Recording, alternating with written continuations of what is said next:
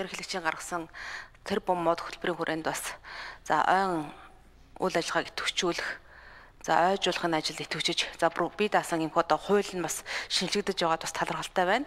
Энэ дээр бас нэг хит хитэн асуулт байна. Сая бас Сүхбаатар гишүүн асуугаад байна. Бүсийн ойн аж ахуй гэж яг юу юм бэ гэд. Энэ хуулийн дээр Бүсийн ойн аж ахуй гэж ойн урамгалжлалтын мужил ойн нөөц тулгуурлан зохион байгуулагдсан ойн нөөцийг хамгаалах, ашиглах, нөхөн сэргээх, үржүүлэх үйл ажиллагааг хэрэгжүүлэх үр бүх үндсэн нэгж гисэн байна л да. Би энэ дээр энэ асуулт байна. Ойжуулах ер нь төлөвлөлтийг хэрэг хийж байгаа вэ? Дэлхийн цаг уурын өөрчлөлт тийм ээ зөвлжилт гээд маш олон өөрчлөлтүүд байгаа. Дулаарл энэ цаг мөчид бас Монгол улсын газар нутаг байгаль орчин ихээр өөрчлөгдөж байгаа. Бид хаана мод тарих уу? Хаана энэ бүсээ одоо ойн аж ахуйгаа идэвхжүүлэх үү? Тийм ээ тэр нутагт одоо хинтээ дорндод бол ихээр тарихгүй махад говь руугаа одоо тэгж модыг ихээр тарина ч гэдэг юм уу? Энэ дээр бүсийн аж ахуйд илүү анхаарна гэсэн энэ бодлого ер нь хэр байгаа вэ гэдэг асуулт. За Эдвард гэсэн бас асуучлаа. Ой мэрэгчлэн. Бид одоо ой тарснасаа хойш бараг л одоо 20 жил болж байгаа 10 оноос эхэлсэн мөлөө 10 гаруй жил болж байгаа тийм ээ. Ойд мод тариа жил болгон мод тариад. Тэгвэл яг энэ модоо арчлах хамгаалах мэрэгжилтнүүд ер нь хэр байгаа вэ? Бид ер нь ойгоосоо модоо авчраад нийслэлийнхаа хүүх гудамжаараа суулгачдаг. Тэр нь ургадгүй өргөө зардал болдог ийм эрсдлүүд байдаг. Тэгвэл ой мэрэгжилтэй болсноороо тарьсан модоо одоо тийм ээ ашиглах хамгаалах тэр ажлыг ер нь хэр хийх вэ? Та сая эмсүүд төр гэлээ. За бидний миний мэдхэл одоо дендрологч чимэд дугаал гэж ярьдаг байсан. Яг одоо ингэж энэ ног модыг авчираад энд ингэж тариад ийш нь харуулаад суулгах юм бол энэ мод насжилт сайтай байна гэдэг юм уу? Энэ мэрэгчлэлтэй хэр байгаа вэ? Дорнод болон Хинтээ аймаг дээр ойн нөхөрлүүд маш ихээр үйл ажиллагаа явуулдаг. Тэдэнд бас улсын төрийн дэмжлэг маш ихээр хэрэгтэй байдаг. Эргээд ойн сангаас ашиглах хамгаалах тэр боломжийг нэмж өгөх шаардлага байдаг. Энэ дээр хуулийн дээр ер нь ямар заалт байгаа болоо? За мөн Улаанбаатар хот мод үржүүлгийн газрууд байдаг. Тэгвэл тэргээр одоо аж ахуйн нэгжүүдийг хэрхэн дэмжих вэ? За ер нь бол Улаанбаатар хотын э, ихэнх нь манай тойргийн бол 80% нь гэр хороол байдаг. За гэр хороолд амьдарч байгаа иргэд маань хашаанда мод тарья гэдэг зүйл ярьдаг. За тэгвэл бид хашаанда мод тарьснараа бидэнд ямар нэгэн дэмжлэг байгаа юу? Одоо энэ тэр бом мод хөтөлбөр гарлаа, ой хуйлтаа боллоо. Энэ дээр бид нар ямар нэгэн дэмжлэг байгаа юу гэдэг зүйл асуудаг. За нийслэлийн удирдлагуудын зүгээс нэг айлыг хашаанда нэг мод тарья гэдэг юм уриалгыг гаргаад одоо явхад бол бас иргэд аж ахуйн гэж маань иргэд маань идэвхтэй оролцож байсан. Тэгвэл яг энэ дээр иргэдэд дэмцэн ийм бодлого байгаа юу гэдэг юм асуултыг асуух гэсэн юм аа. За баярлалаа. За 85 Батүлзийн Бат Эрдэнэ байгаль орчин аялал жуулчлалын сайд За жаргалмаа гişүний асуултанд хариулъя.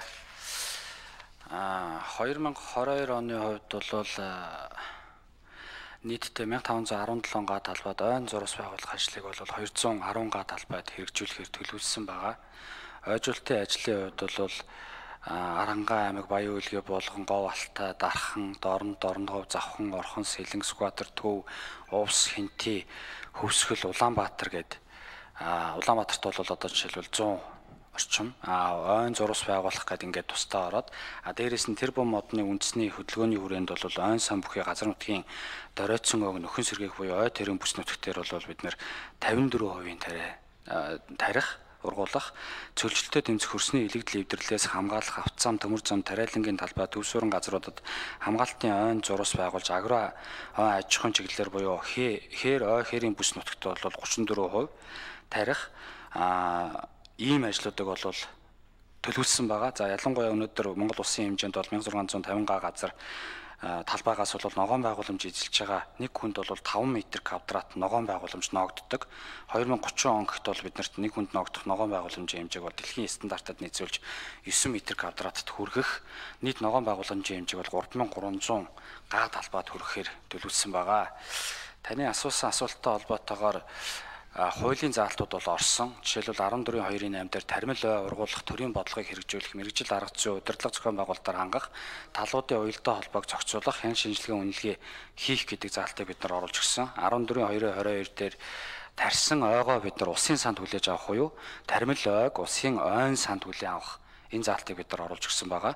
Мөн 14/2/27 дээр мод тарьж ургуулах үйл ажиллагаа эрхэлж буй ой нөхөрлөл, ой мэрэгжлийн байгууллага иргэн аж ахуйн нэгж байгууллагад газар эзэмших санхүүгийн цогц дэмжлэг үзүүлэх мөнгөн урамшил олох тогтолцоог хөгжүүлнэ гэдэг энэ заалтыг оруулж өгсөн байгаа. Энийг бол сая Монгол Улсын ерөнхийлөгч Ухнагийн өрөөсхийн санаачсан ногоон санхүүжилт бус нутгийн чуулган дээр бол энэ санхүүжилт за дээрэс нь бол стратеги дээр бид нийт одоо амлсан аж ахуйн нэгжүүдтэй гэрээ байгуулж батламж байгуулсан аж ахуйн нэгжүүдийг бол бид нар одоо тухайлах юм бол Эрдэнэс оюутлогоо компани 100 сая байлаа гэхэд 100 сая мод тариалах нийт дүнгийн 100 сая модных нийт төсвийг гаргаад тодорхой төсвийг дүүцүүлэх хэлбэрээр саяны таны хэлдэг урамшууллын хэлбэр рүү шилжүүлдэг ч юм уу а тодорхой хэмжээгийн жишээлбэл нөхөн сэргээлтийн ажил руу оруулаад мод тарих процесс руу оруулдаг ч юм уу. Хэмжлэнгээр ингээд төлөвлөлтүүдийг бид ой стратеги дээр бол хийгээ явж байгаа.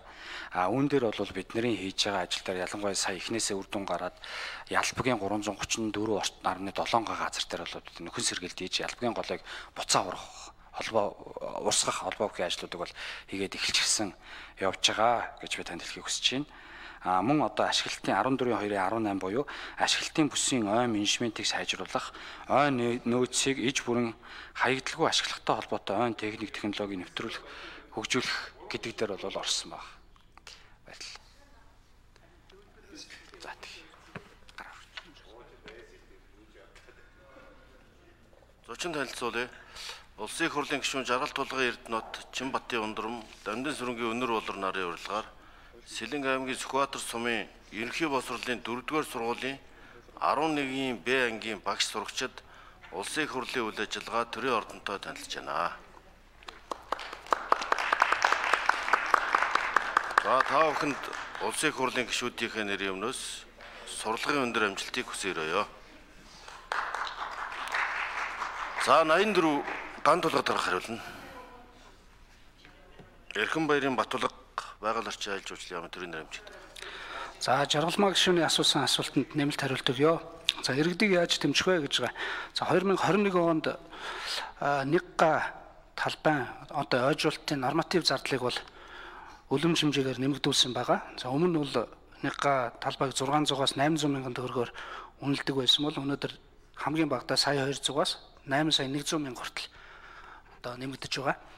А нөгөө талаар өөрийн эзэмшил газартаа ойжуулт хийсэн иргэдийн хувьд өмчлөх хэрэг нэгж байгаа. Одоо ойн тухай хуулийн дагуу өмнө бас байсан. Энийг бол бид нар э, иргэддээ бас энэ хүрээнд таниулах, сурталчлах ийм ажлуудыг зохион байгуулж байна. За дараагийн нэг асуудал бол тармилог улсын санд хүлээн авах ийм зардал бас өмнө 300 мянга байсан. Энэ 2 жилийн өмнө 1 сая төгрөг болсон. Одоо бол 10 сая төгрөг болж нэмэгдсэн учраас тармилог улсын айн санд хүлээлгэн өгөх сонирхолтой иргэд байх юм бол бид нар одоо нийслэлээс эхлээд ойжуулт хийх боломжтой талбайнуудыг зааж өгöd байж байна. Эхний ээлжинд 17 байршил бол бэлэн болсон байгаа. Энэ талбайнуудаар ойжуулт хийх хүсэлтэй иргэд бол э, дээрх одоо мөнгөн дүнгээр урамшуул олох юм боломжтой байгаа.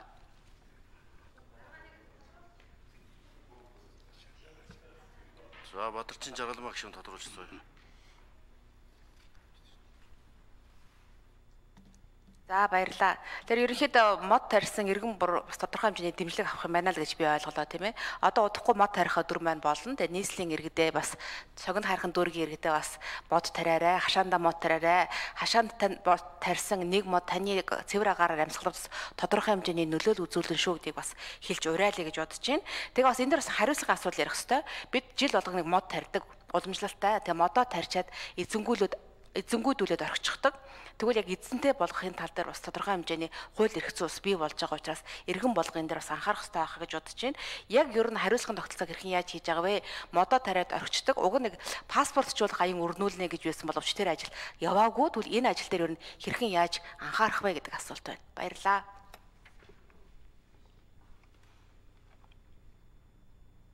За хариулах. За Бат Эрдэнэ сайд хариулъя. Батүлзийн Бат Эрдэнэ сайд 85 Жаргалмаа гişүн асуултанд хариулъя. Төрөний миний хэлсэн нэг 14.2-8 буюу таримлаа ургуулах, төрийн бодлогыг хэрэгжүүлэх, мэрэгжил арга зүй, удирдлага зохион байгуулалтаар хангах талуудын уялдаа холбоог зохицуулах, хэн шинжилгээ үнэлгээ хийх гэдэг энэ хуулийн туссан заалтын дагуу бид нар үйл ажиллагаа хийгээд явахаар төлөвлөлөөд ингээд ер нь үйл ажиллагаа яваад эхэлсэн явж байгаа. За ялангуяа иргэн бүр буюу одоо нэг олон нийт маань өөрөө оролцох нь их чухал байгаа. А энэ дээр бол бид нар тодорхой хэмжээний урамшууллын тогтолцоонууд буюу одоо сая бүс нут нөгөө ногоон савжт бүс нутгийн чуулган дээр жишээлбэл банк зөвхөн хөдлөх үйл хөдлөх хөрөнгөийг үнэлж байна. А мод тарьсан хашаанд гэвэл жишээ нь модыг тодорхой хэмжээнд үнэлдэг систем рүү оруулъя гэдэг нэг систем явж байгаа. Тэгэхгүй бол гэр орооллын иргэд маань мод тарьдаг, дараа нь дахин төлөвлөлт нэрээр модыг одоо үгүй хийдэг. А энэ дээр тарьсан мод болгоны үнэлгээ бий болж байгаа учраас тухайн орж ажиллах барилгачлалтын орж ажиллаж байгаа компани маань тухайлах юм бол одоо тодорхой хэмжээний нөхөн төлбөр байдлаар оролдог ч юм уу эргээд зэрэгцээ төвшөнд